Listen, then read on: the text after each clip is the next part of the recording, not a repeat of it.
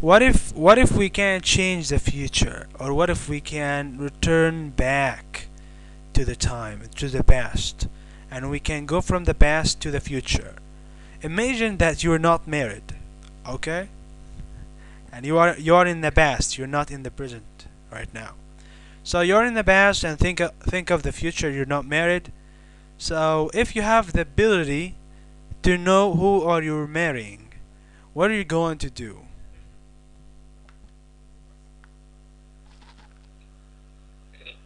So, so if if I uh, went to the future and you the the person I'm going to uh, marry.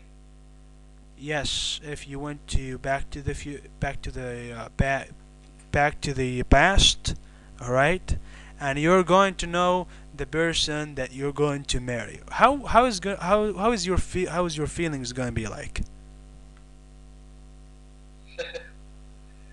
um, I think it's um,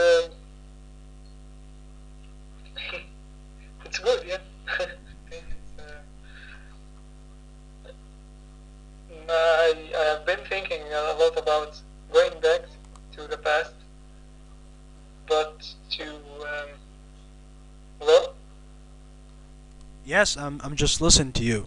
yeah, uh, okay, to um, uh, I, I I've been thinking about going back to the past, but to see how uh, they built the pyramids.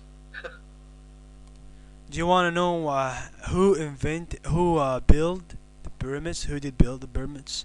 Actually, I want to know. Yeah. I want to know how who um, who built the pyramids. I don't know. I, need I, I need to know how did they um, build the pyramids and to know a lot, uh, to know more about a lot of um, missing information or about the mystery we still have um, regarding the pyramids.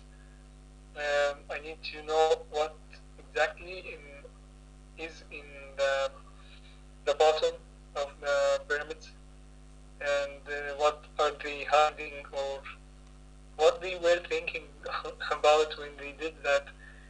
I think there, I think I- think that now we um, we know maybe only twenty percent or ten percent about pharaohs about this this period of time. Yeah, that's true. Also, I wanted to I want to know. Uh, they reserve the body, the death body, for a long time, and there was a secret.